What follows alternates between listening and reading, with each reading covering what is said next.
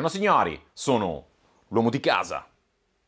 Se fino a qualche giorno fa mi avessero chiesto si può sdoppiare un cavo LAN in modo da ottenerne due che siano contemporaneamente online, la mia risposta sarebbe stata assolutamente no. Fino a che non ho trovato questo aggeggio. Anzi, questi aggeggi, perché vengono venduti in coppia. Infatti, grazie a questo sdoppiatore è possibile avere da un solo cavo due cavi ed entrambi con la connessione internet attiva o con la connessione di rete attiva. Come è possibile? È possibile se si montano in maniera corretta. In questo video potrete vedere non solo il montaggio, ma anche il test che poi ho fatto con due computer contemporaneamente connessi online con il test di velocità internet, quindi pompati a manetta. Ma non voglio tediarvi oltre, non voglio anticiparvi niente, quindi pollice in su, iscrivetevi al canale, condividete questo video con i vostri amici e buona visione a tutti!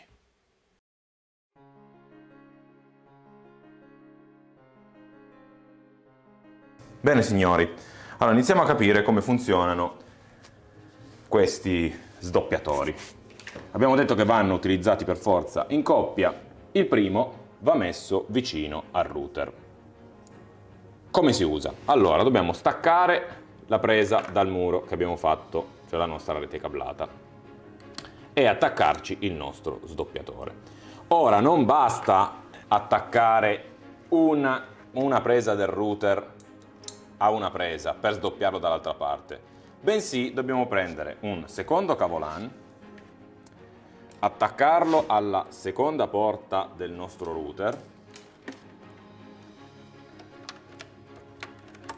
così, non guardate come è crimpato il cavo che veramente l'ho fatto velocemente ed è venuta una monnizza, e attacchiamo il secondo cavo anche al nostro sdoppiatore. Che cosa succederà? In teoria 16 cavi verranno dirottati in 8 cavi e dall'altra parte andiamo a fare la stessa cosa, cioè da 8 cavi li faremo tornare a 16 cavi. Quindi ci spostiamo nell'altra presa muro e andiamo a mettere l'altro adattatore o l'altro sdoppiatore di cavo LAN.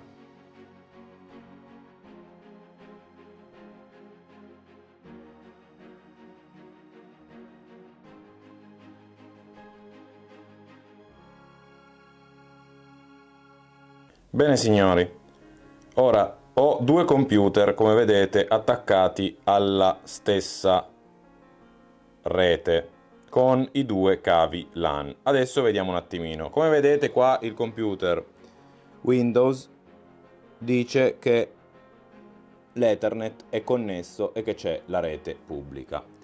Andiamo a vedere qua sul Mac che cosa sta succedendo.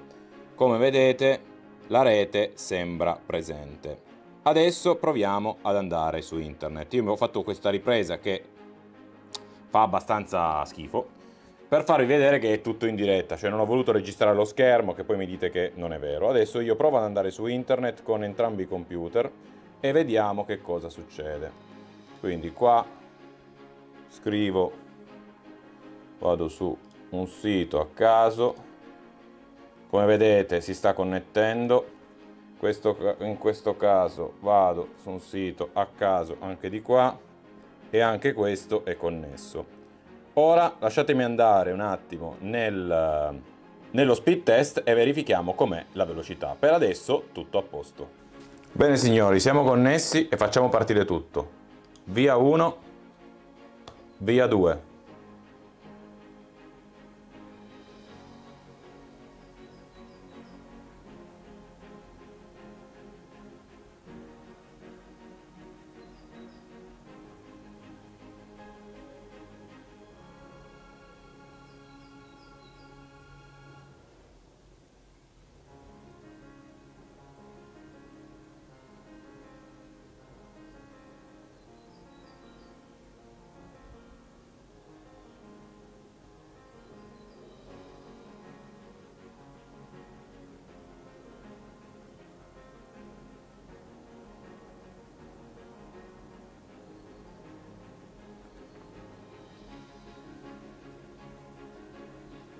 Bene signori, non so se voi vi ricordavate il risultato della precedente test che avevo fatto quando avevo messo la rete cablata, i risultati erano, come avete visto, circa la metà. Cioè, adesso io vi faccio vedere un attimino, perdonatemi l'immagine, contate che io li ho fatti partire con qualche secondo di stacco, eppure i risultati sono più o meno gli stessi. Quando è partito il download, avete visto che a un certo punto se lo sono divisi, è veramente uno spettacolo, ragazzi. Bene, eh, che, che c'è da dire? Guardate, sinceramente non lo so. Una cosa è certa, funziona.